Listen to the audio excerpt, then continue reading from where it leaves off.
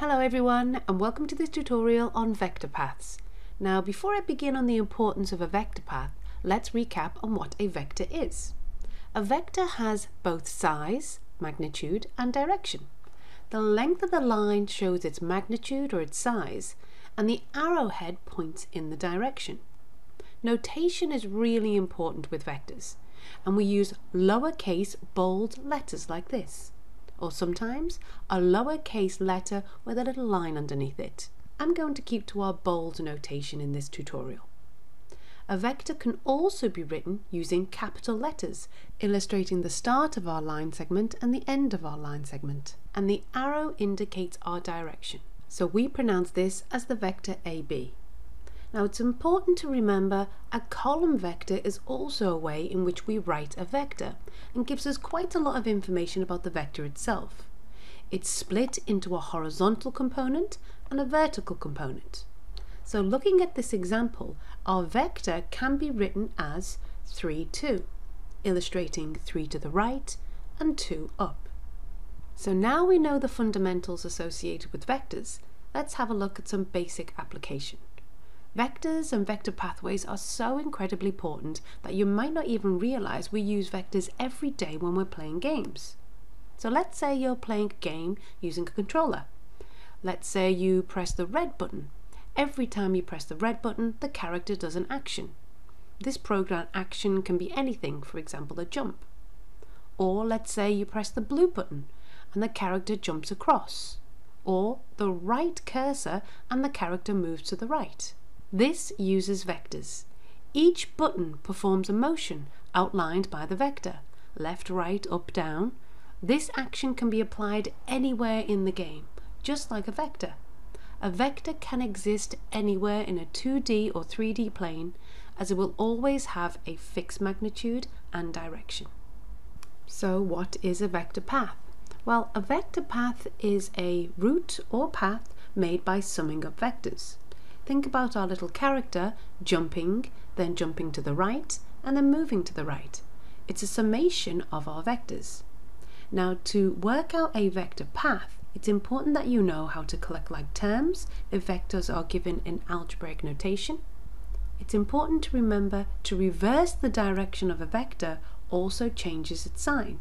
For example, vector AB is 3, 2, so vector BA is minus 3, minus 2. And if a vector is given in component form, remember the sum of the horizontals gives the resultant horizontal and the sum of the verticals gives the resultant vertical. So now we have some basic knowledge on vectors and vector paths, let's apply it to some past exam questions. Here the question shows us a parallelogram, A, B, C, D, and the diagonals intersect at the vertex O we're given the vector O to A is vector A, and we're given the vector O to B is vector B. The question states that we need to write an expression in terms of A and B for the vector CA, the vector BA, and the vector BC. Remember, vectors can be anywhere with the same direction and magnitude. So when the question says it's a parallelogram, this means the vector O to A is not just here, but it's also here as well, as we know the length C to O is exactly the same as O to A. Now looking at the vector O to B, you might be able to spot it's exactly the same vector as D to O. So now we've added a couple more vectors, let's see if we can identify our vector path to make vector CA. Well, to get from vertex C to A, the path is simply C to O and then O to A. So I've written my vector equation here. Well, we know vector CO is given as A, and we know vector OA is given as A, so therefore the vector CA is simply 2A. Now let's have a look at vector BA. Well, we want to get from B to A. We have no vector given here, so let's see if we can identify our vector path. Well, to get from B to A, we can go from B to O and then O to A. Well, the vector BO is in the opposite direction of OB, so therefore it's simply minus b, and then we go O to A, which is vector A. Therefore, our vector BA is simply A minus B, or minus B add A. Finally, let's have a look at our vector BC. How are we going to get from the vertex B to the vertex C? Well, let's identify our vector path. We can go from B to O and then O to C. Remember, we're going in the opposite direction of OB, so therefore it's minus B, then the opposite direction to C to O, so it's minus A. Summing this up to give me vector BC is simply minus A minus B. So let's have a look at another exam question. Here the diagram shows a regular hexagon. O to A to B to C to D to E. We know the vector O to A is given as A, and we know the vector A to B is given as B. It states that M is the midpoint of OE, and N is the midpoint of AB. The question wants us to find vector MN in terms of A and B. See if you can give it a go and press pause if you need. My advice would be label any additional vectors that you can see on the diagram.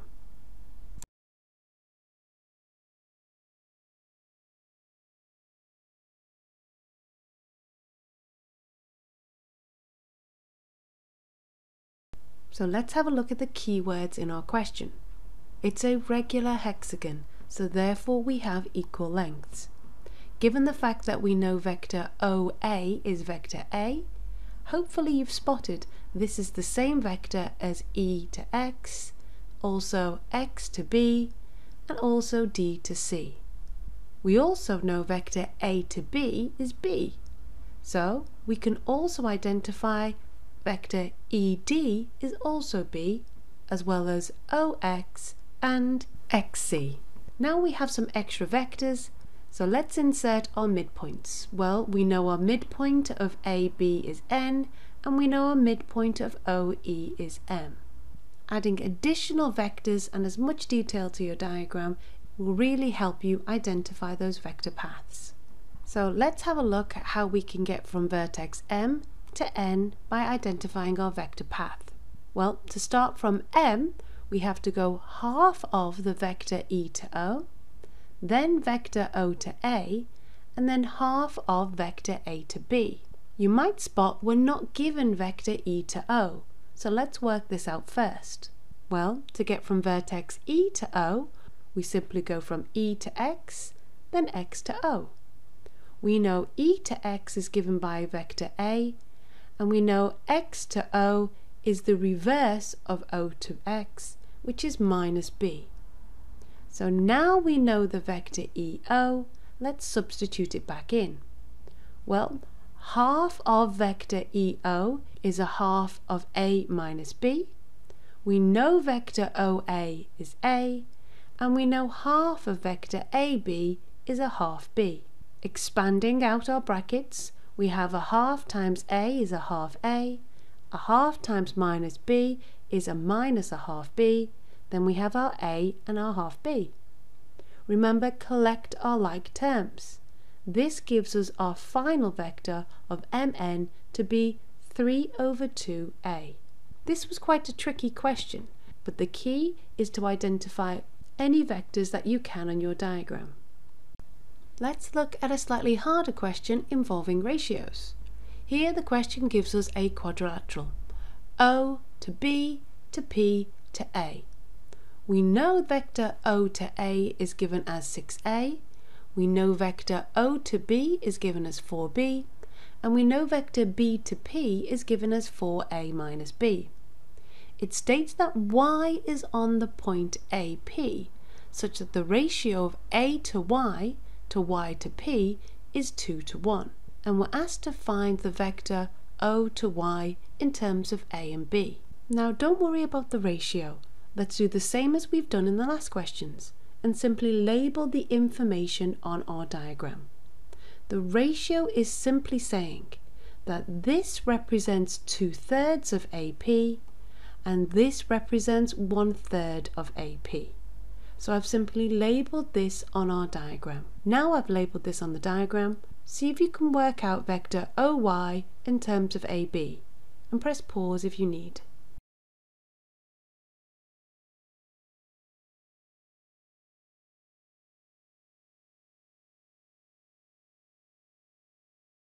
So to get from O to Y, let's identify our vector path.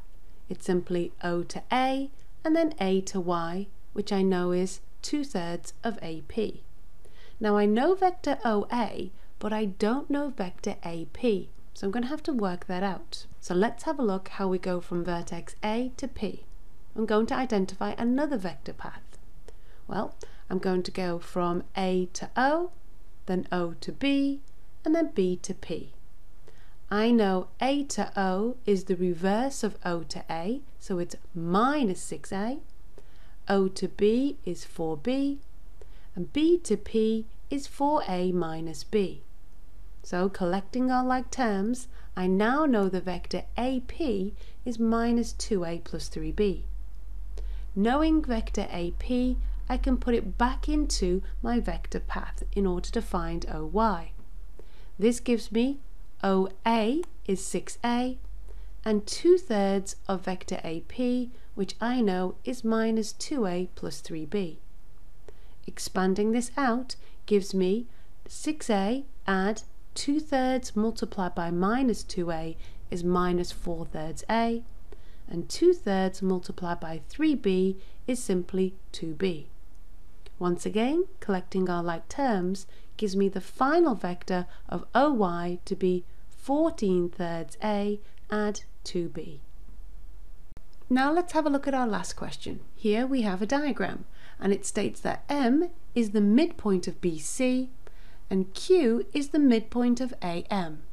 We know the vector AP is given as A. We know the vector P to C is given as 2A.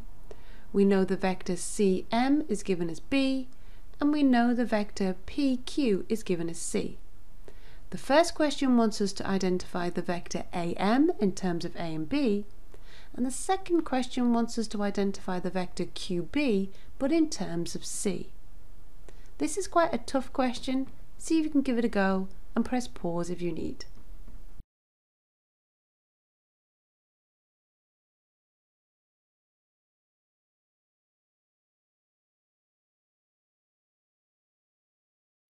So let's start by labelling anything we know from the question. Well, given that we know that M is the midpoint of BC, therefore we know CM is B, so that means we know BM must also be B. Now the question wants us to work out the vector A to M. So starting at A and ending at M, let's identify our vector path. I'm choosing A to P, then P to C, and then C to M. We know A to P is vector A, P to C is given as 2A, and C to M is simply B. Collecting our like terms identifies the vector AM to be simply 3A plus B. Now let's see if we can work out part B, where it wants us to identify the vector QB. The vector path I'm choosing is simply a half AM, remember Q is the midpoint of AM, and then simply M to B. I already know AM from the previous question, and MB is labelled. So therefore I know vector QB is a half of the 3A plus B, add my vector MB is simply B. Expanding and simplifying gives me a half times 3A is 3 over 2A, a half times b is a half b, and then I have my b. Collecting all my like terms gives me the vector qb to be 3 over 2a at 3 over 2b. But the question wants qb in terms of c. So what I need to do is have a look at my vector diagram and identify what is c in terms of a and b. To do this, I'm going to have a look at what I have labelled as C. And you might be able to spot that I know C is PQ. So if I know C is PQ, I'm going to write another vector path to identify what PQ is. and then I know what C is. So I'm choosing the vector path P to Q to be P to A and then A to Q. Well, I know P to A and I know A to Q because A to Q is a half of A to M. Now let's substitute what I know.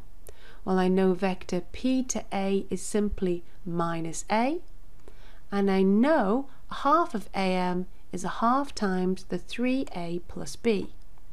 Expanding out, I have my minus A.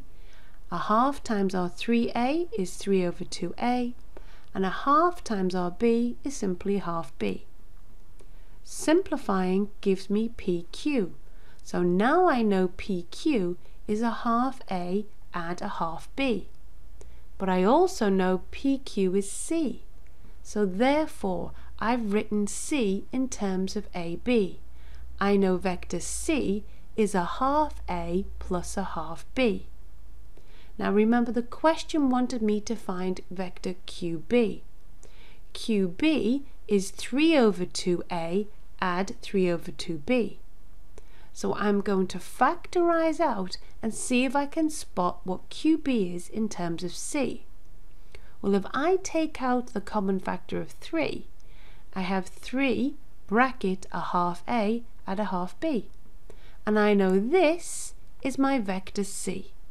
So therefore I know vector QB is simply 3C.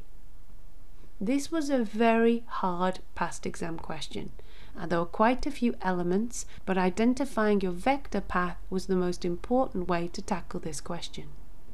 So, in summary, we've revisited the fundamentals of vectors and vector notation. With this, we recognize the importance of forming a vector path and how there can be many different vector paths which always simplify to give the same answer. I hope you've enjoyed this tutorial and remember to think about vectors next time you play a computer game. If you liked this video, please give us a thumbs up. Leave your comments down below and subscribe to this channel so you'll be the first to know when we release our next video.